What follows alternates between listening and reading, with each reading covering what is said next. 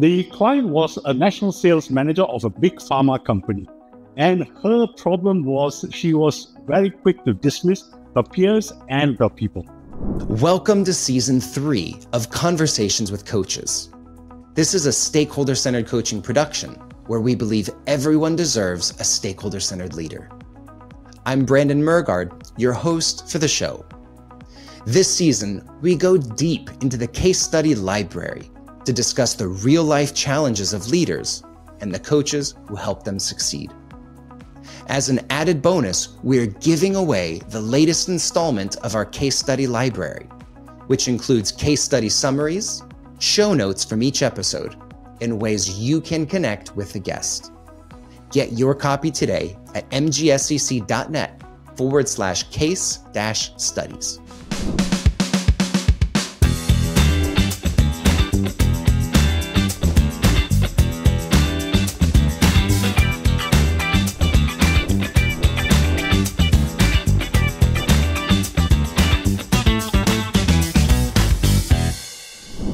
Today, we're joined by James Pereira, a coach with a keen eye for the nuances of culture's influence on leadership. In this episode, James shares his insights into coaching a leader through the complexities of power distance in a multinational setting. Discover how James navigated the challenges of national cultural norms to enhance leadership effectiveness and foster a more inclusive feedback culture. Join us as we discuss the power of coaching across cultural boundaries. Come on in and let's find out more about the client. Well, Brandon, uh, let me put this in context. First of all, this was a pro bono uh, case, and uh, this was part of my uh, accreditation to the Marshall Goldsmith National, uh, sorry, Stakeholder Centered Coaching Program. So uh, this was a client with whom I have been doing work over the past few years. So it was easy for me to approach them and uh, explain what was uh, involved. So the managing director was very gracious to say, let's work with the national sales manager. And he sounded that this was a problem, which was uh, she was a national sales manager for I think about five to about 10 years uh, or seven years in this role. And because she was so good in her job and she knew the ropes uh, in pharma, and specifically in this mental health segment. She was dismissing her peers, the suggestions from her peers, uh, who were the brand managers. She was dismissing the suggestions of her sales managers, who were the people reporting directly to her, and anybody else who was working with her. So that was the issue that we set out to solve. Okay, so we've got a, a sales manager, seems like a very important individual who's ego maybe just got a bit farther ahead from her her uh, willingness to take suggestions from others. Now you had already worked with this client. So what was it like when, you know, as the client, I realize I have a problem. How did I reach out to you for help?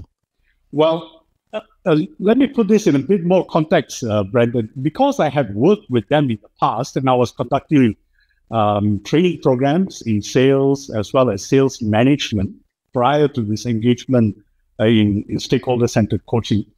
I kind of knew her character, and that was an issue for me because sometimes you you you tend to second guess uh, and you try to throw the solutions at them. So I had to train myself. I had to shut myself up and listen more than I speak. So that was a big issue for me. Uh, and, I have played the role of a sales manager before in a pharma company and brand management. So I could resonate with exactly what she was going through because I had gone through the same uh, problems. So I had to stop myself from giving her advice and really put on my coach hat rather than my mentor's hat. Um, so what I did, uh, uh, Brandon, is I, I, I, and this because this is this was my very first coaching, um, you know, system using uh, Marshall Goldsmith's, Goldsmith's process, I followed the steps judiciously. Step one, two, three, four. I did not take any shortcuts because I didn't want to, uh, you know, fumble along the way. I didn't want to have a bad result that I may have to question and see if I was the cause of of uh, the bad results. uh, what I did was I first the first step was actually conducting a, a briefing with the managing director and the national sales manager, and she was so enthusiastic. That was the biggest surprise.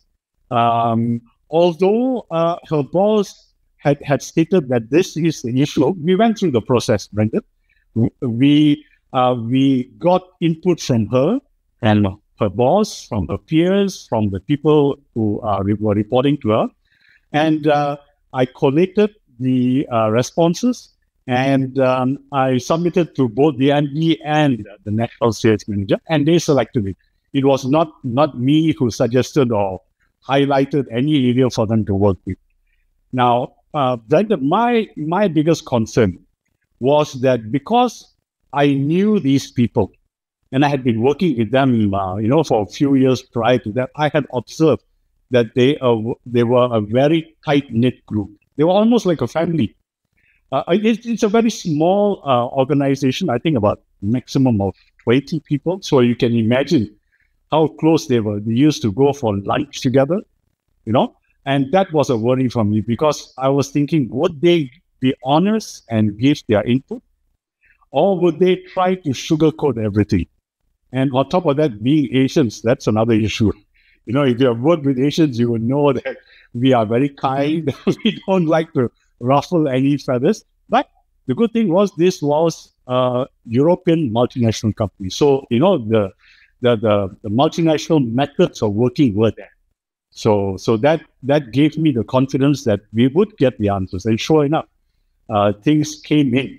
Um, and it was it was nice because everybody trusted me that I was going to be confidential and not reveal who said what. Well, James, walk me back because um, you know you. It sounds like the conversation started on a, let's say, a much higher note than the way most coaching uh, presentations go. So you've sat down with, uh, you know, presumably the uh, a senior leader there. You've presented stakeholder centered coaching. It was well received. Tell me what happened in that conversation, how you presented it to get such an enthusiastic, emphatic response from the client. Um, Brendan, I'm going to be honest here, and this may sound uh, trivial, uh, but I approached the managing director and said, Look, um, I need to get my certification in Marshall Goldsmith uh, stakeholder centered coaching and hopefully deliver deliver better service to you guys. And I said, I need someone pro bono to do the coaching with. And he immediately, I, I was thinking about him, but he suggested his natural salesman. So I said, okay, fine, let's go with. Um, and and and I did not use any slides, Brendan. It was just a, a, conversation where I said, "This is what the process is all about," and I was very frank. And I told him, "I'm not going to be the coach. You guys are going to be the coach. I'm merely a facilitator." So I think he bought into that because it usually when a coach goes in, it is the coach telling someone what needs to be done uh, without any observations. And I've done that kind of coaching before, so I know what the, those issues are. And I think he, he, he and the national sales manager bought into the premise that it is their people who are coaching them, and the benefit is that there is something in it for them rather than somebody who's coming in from outside and getting things done and no one knows what. Yeah. So I think that's that's what sparked the interest. Good. Well, ladies and gentlemen, for those of you who are listening at home on your your daily commute, perhaps at the gym, um, I'm I'm poking a bit of fun because James is an exceptionally talented sales leader. So whatever he presented is already going to be good. What he's talking about with this pro bono engagement, getting certified, um, is that if you don't know, with our, our certification program, everyone has to produce positive results in a six month engagement to earn their certification. We have a very, very strong quality control system, but that's why he's presenting it this way to say, I got to get certified. Are you willing to step up and help me? I'll help you. I think that's awesome, James. So they were gung ho from the beginning. He's already got someone in mind, and you already knew this individual and knew what the struggle was, correct? Yes, absolutely. Oh, match made in heaven. it was it was definitely a match made in heaven. I things things flowed so smoothly in that six months. Um, and uh, Brendan, as I was saying, you know, that was the first interaction with uh, with the managing director. And then I, I had a separate meeting with just the both of them. And I went through the entire process of what the SCC was all about. Um, and the third step was actually getting all their people on board and having a third session, a third, um, you know, revelation of what uh, Marshall Goldsmith stakeholder centered coaching was. And um, and then we kicked it off after the national sales manager had revealed to the group, and this was done via a Zoom meeting as well. I insisted that she do it this way rather than through an impersonal email, and uh, I think that managed to get the buy-in even more uh, from from her people, especially from her peers. Um, and I think that kind of assuaged uh, her people as well, those who were reporting to her that this is going to be above board as nobody is going to be penalized for voicing out their opinion. Now, having said that, Brendan, what I noticed in the first two months of getting feedback was that it was very ho hum. Um, the feedback that people were giving her was that, good job, keep it up. And that's it. There, there were hardly any suggestions on what needs to be done. So I had to, uh, over the next two months, uh, train her, after getting her permission, of course, train her on how to request for better feedback, you know, or rather better suggestions on what needs to be done. So I taught her and I, and I reminded her, look, this is typical selling skills that, you know, I had gone through with your team. So now it's your turn to use it with your people. You know, it is sales anyway. So, so she kind of got into that. She bought it. And, and after that, Brendan, the, the, the suggestions came in a lot more um, informative and useful. Can you share with us a little bit about how was she asking for feedback before, and then how did you train her to solicit more quality uh, suggestions? Yeah, so um, right from the beginning, I told her, look, there are a couple of ways that you can, you know, uh, get the feedback. Either email the form to them, the feedback form, ask them to uh, give their input, send it back to you, and if you wish, you can, you know, um, have a further discussion with them or meet them along the corridor or when you're going out for lunch with them individually, you can ask them or even pick up the phone. Um, but the very first two months, I think she was kind of hesitant to, to take that route because too much work. And so the easiest is just to email the form and wait for the feedback.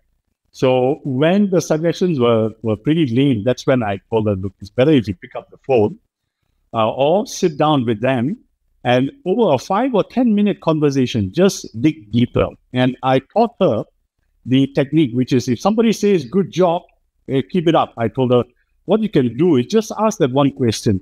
Look, I need your help. What is the one thing that I can do next month to improve my, uh, you know, to, to, to improve in this behavior?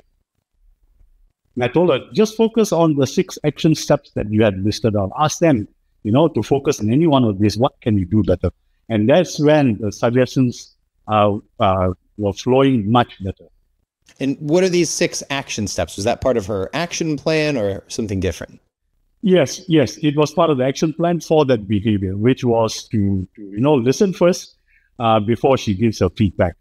So one was uh, one was for her to remain silent when somebody is speaking uh, and not to say anything.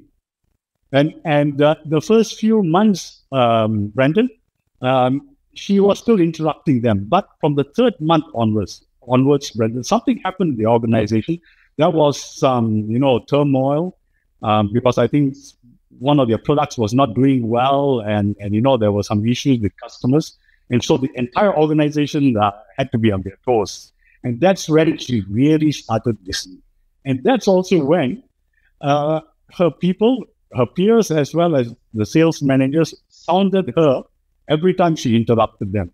You say, um, we have to remind you that this is this is the action step you said you would be implementing, but now you're not. So so that that kind of work.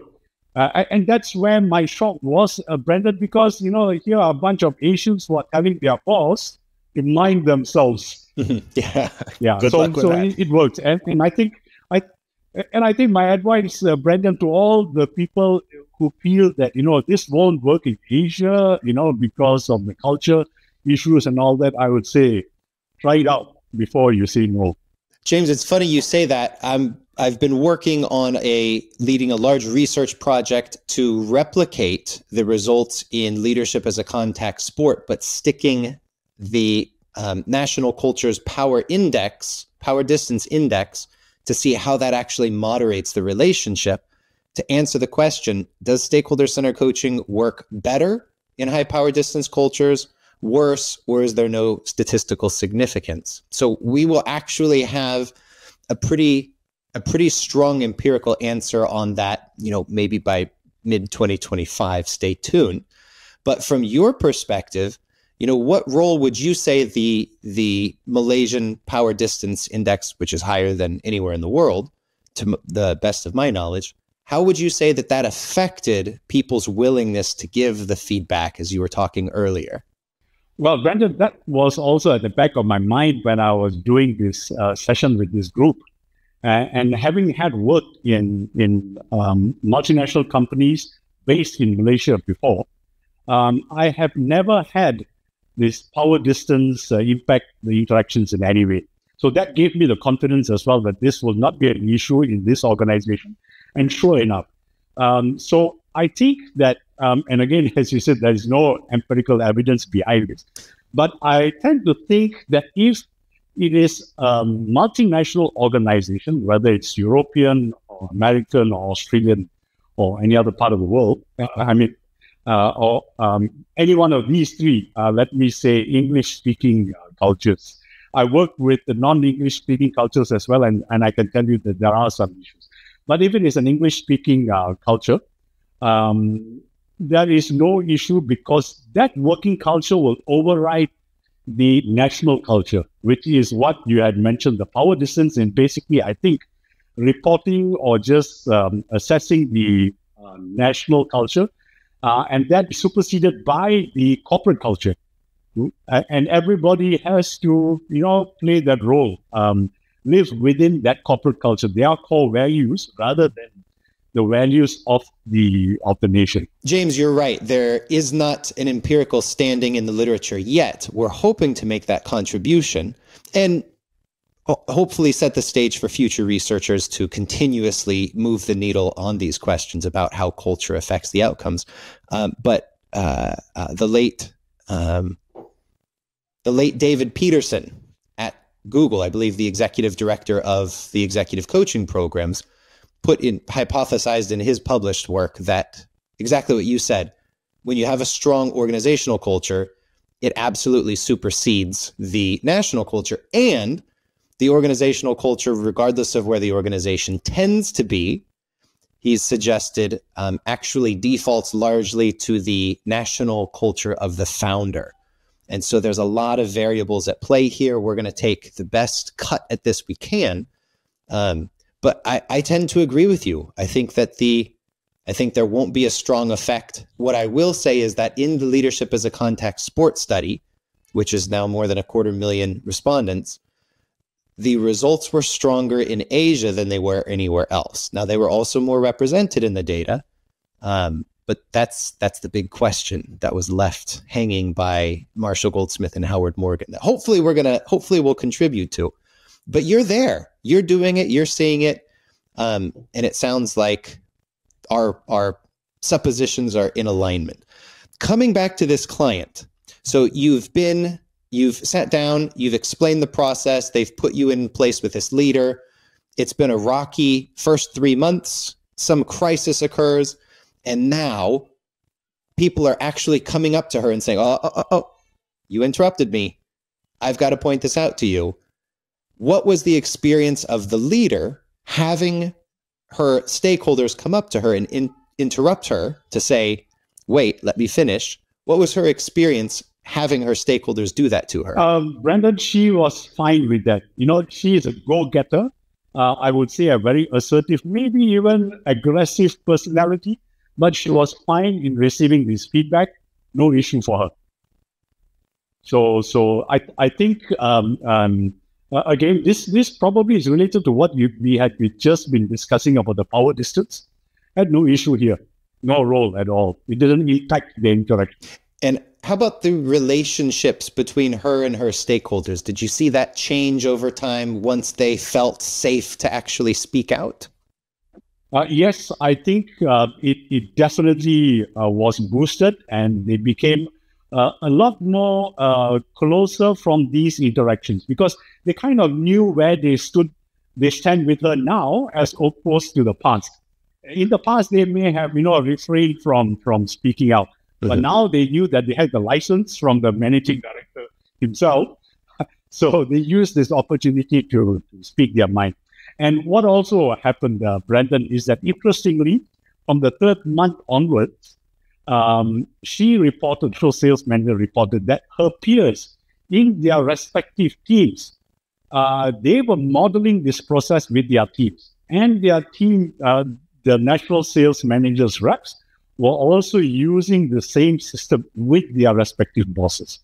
Although it was not formalized in any way, but they were using that informally. Yeah, that's that's such a cool thing about stakeholder centered coaching when you say, James, here's what I'm working on. Do you have suggestions? Thank you for the suggestions. By the way, is there anything you want to get better at? Anything I can share with you to help you on your own improvement journey? It's very collaborative and you build almost like little networks of of feedback, feed forward pipelines. You know, talking further about the results, um, I know that you measured these with the the mini survey that looks at uh, the changes that people see in the leader's overall effectiveness on a minus three to plus three scale. What kind of results did we see in the the survey? Um, so, Brandon, this was also a shocker for me because um, being Asians, I thought that they would be, you know, giving her the maximum marks, but no. I was expecting her to at least cross a two, between a two and a three, but what she only received was a 1.86 plus 1.86. So I felt that, okay, this must be real results. This is not made up, not polished in any way. You know, they did not massage anything. So these were genuine, and I was pretty happy uh, with that. And I asked her, how do you feel that you got, you know, only a 1.86, positive 1.86? She said, she herself said she was expecting a lower result. So, you know, that's, that's, uh, that was her perception. So she was pretty, pretty pleased with the 1.86. Yeah. You know, that's, uh, that's par for the course. I believe that's roughly average in our, our research data set. But, you know, I, I like to remind people two things. One is any positive score is progress. That's progress. 1.8, 1.5 is 50% up the positive scale. There's a really good improvement to make in just three months, in just six months, however long you you go to get this. But the other thing is that there is latency between behavioral change and perception change. You might have been working really hard at something for six months, but it might take people nine months to fully see what you've done in those six months and to really believe that it's it's sticking. What else? What other things were you noticing were changing in the relationships or in the organization as this leader continues to improve? Besides this, um, uh, I I also observed, uh, Brenda, and this was after the, the interaction with the sales manager had ended, because I had another project that I did with them. And what I realized was that the interaction between the marketing team and the sales team had improved tremendously. Previously, they were they used to be at loggerheads, but now they could, you know, lay things on the table and discuss openly and and you know criticize the plans without criticizing the person.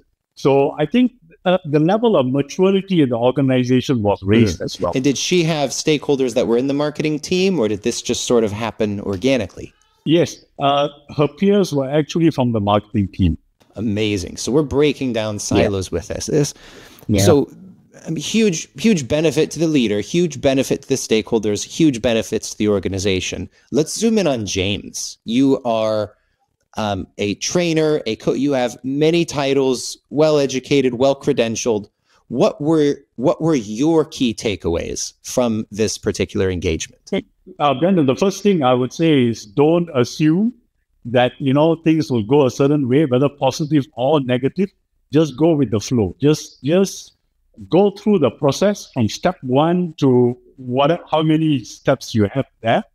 Uh, and I I would suggest that um, get everybody involved because the more people you get involved, uh, right from the beginning, the better the buy-in and uh, the more assurance they get that you know this is not going to be uh, an avenue for the management to pick on someone who they don't like. So I did not see this in this organization. So I would say that. Now, the other thing that I also learned is that um, before I give any gave any feedback to this natural sales manager, I asked her permission because she had she is a person with a lot of experience. So I had to treat her at my level um, and you know, um, uh, as, as a fellow peer rather than a coach-coachee relationship. And I asked her, "Do you mind if I give you some suggestions on how you could get something done?" And she was open to it. Now, obviously, if somebody is not open to it and you try to shove things down their throat, it's not going to be uh, swallowed at all. So, so, so I think, yeah, that that's that's something that you know I, I really learned, and I think the biggest learning um, Brandon, is that having been, um, you know, um, at the top of the corporate uh, game, uh, there was a study which I read that within 15 seconds of a leader hearing somebody else, whether it's a peer or, or one of their people, they will interrupt. So I had to struggle with that and train myself not to interrupt and not to give suggestions and advice. And I told myself, I'm a coach. I got to ask empowering questions. So that's what I did.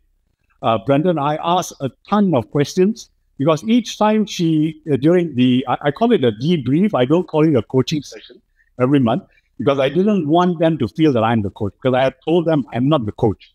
I'm just a facilitator. So I told her, look, I'm, I'm, this is what I'm going to be doing. So each time at, at the end of the month when we have our interactions, she would say, I'm going to be doing this because of this, this, this. And I would challenge you, how do you know that this, this, this, and this is is your premise, uh, your your platform to work on? And any other suggestion, I would I would check check her and ask, how do you know that's going to work? Do you have contingencies? You know, um, what happens if this fails? Because I'm going to be meeting you only 30 days from what happens in between. Now, of course, I told her that you can email me, you can call me anytime. But I, but I was preparing her to handle whatever um, you know, uncertainties that may come up. You know, a key factor of stakeholder centered coaching is the time efficiency. We want to work with busy people because busy people are making the world turn. What did you learn, given that this was your first time actually applying stakeholder centered coaching? What was your experience with the time efficiency aspect of it? Um, Brandon, I was terribly inefficient. the, the very first, the, during the very first debrief, we took one and a half hours, Brendan, uh, and then we learned together. Together, both of us learned how to uh, shorten the process. And the uh, towards the final two months, we just took 15 minutes, Brendan, because I was coaching her on how to get things done faster, and she was also coaching me. She was training me how to get things done faster as well. And she suggested, why don't I send you, you know, the the input uh, a week before our session. So at least you can, you know, read through and pick up whatever needs to be discussed. Uh, and I said, fine.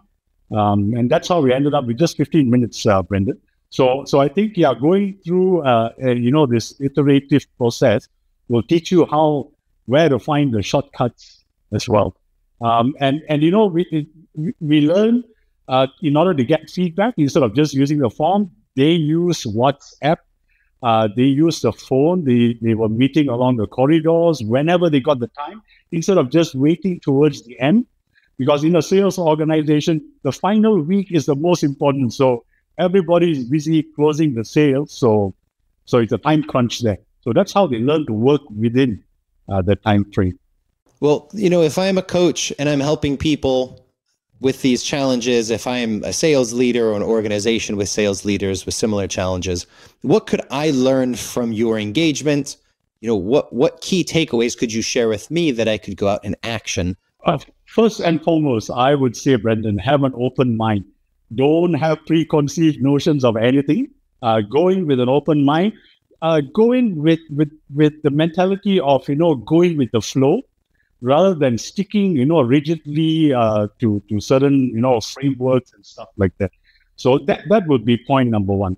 point number two, uh, being a coach, um, you know, means that we have to ask a lot of empowering questions. We got a challenge, and I think that's that's the second thing, uh, most important. Uh, besides empowering questions, is challenging people. Sometimes we feel that you know we should not challenge and just accept their viewpoint, but I I believe that when you challenge them, it it makes them think, and therefore they are empowered through their thinking, rather than us giving them the answers. And um, use technology Brandon. That's uh, point number three. I would say that you know, especially, and, and I'm I prefer to use Zoom. I'm not good with Microsoft Teams uh, or other platforms, and I learned Zoom because now with the AI tools that come with Zoom, and also the add-ons, uh, you can clip whatever you wish and you can share it with them, which I do. Uh, with with all the uh, people that I coach now using the SCC, I send them tips or important points for them to remember that they have said that they will do. So it's kind of a reminder for them, you know, small uh, chunk size uh, le- uh, lessons for them. And uh, finally, what I uh, would also um, emphasize on is at the end of the meeting to, to get them to summarize their action steps for the next month, what they have learned and what they're going to do. Because when they summarize, they will remember um, so I think that that these are the powerful lessons that I have learned, and I would advise others to implement as well. Excellent. Well, James, our audience is going to be interested to know more. How can they get in touch with you, follow your story, reach out? Um, Brandon, there are two ways that they, they can contact me. One is on LinkedIn. I'm I've got a I was, uh, you know I'm quite active on LinkedIn. So if they were to search for producing profitable people, um, they will find me there if they're just typing that. Or they can email me at James Pereira at loud-lion.com. James Pereira took us on a deep dive into the complexities of coaching in a multicultural context. James's approach to overcoming cultural barriers and leveraging organizational culture for leadership success offers invaluable lessons for coaches and leaders alike. We hope you're inspired to explore the dynamic interplay between culture and leadership in your own practice. Remember, all the case studies of this season are available for download at mgscc.net forward slash case dash studies. The link can also be found in the episode description. And if you'd like to better understand the foundations of leveraging stakeholders and measuring results in your coaching, then join the free training program, Foundations of Stakeholder Centered Coaching, where we share the philosophies and frameworks that guarantee improved leadership effectiveness in 12 months or less. You can register for the free course at mgscc.net forward slash foundations dash course.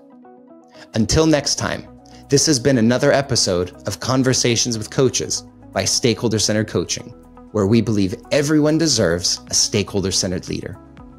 Thank you for joining the conversation and stay tuned for more stories of leadership transformation.